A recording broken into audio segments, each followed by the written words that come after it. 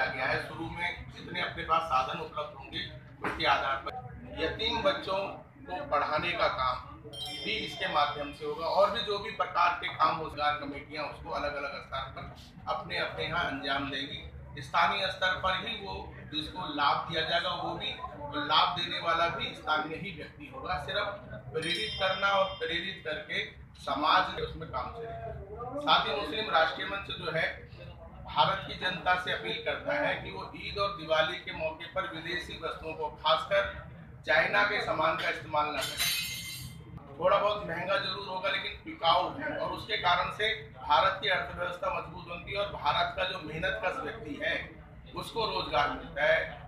उसके घर में भी ईद, दिवाली मनाई जा सके, इस तरह की व्यवस्था की अपील मुस्लिम राष्ट्रीय मंच भारत की जनता से कर रहा है। साथ ही हम लोग भारत के ऊपर थोपा किया था, जिसमें हज़ारों सैनिक मारे गए थे तो उन सबके परिवारों से मुस्लिम राष्ट्र मंच के कार्यकर्ता मिलेंगे और उनका धन्यवाद भी करेंगे और साथ साथ जो है, उन सब के लिए खिदारी अकीदत भी पेश करेंगे।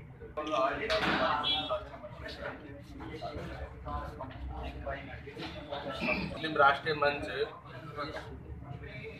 पिछले पंद्रह वर्षों से पूरे देश में कहीं अमन के सिपाही के रूप में, कहीं खिदमत के सिपाही के रूप में, कहीं इल्म के सिपाही के रूप में, कहीं इंसानियत के सिपाही के रूप में लगातार काम कर रहा है।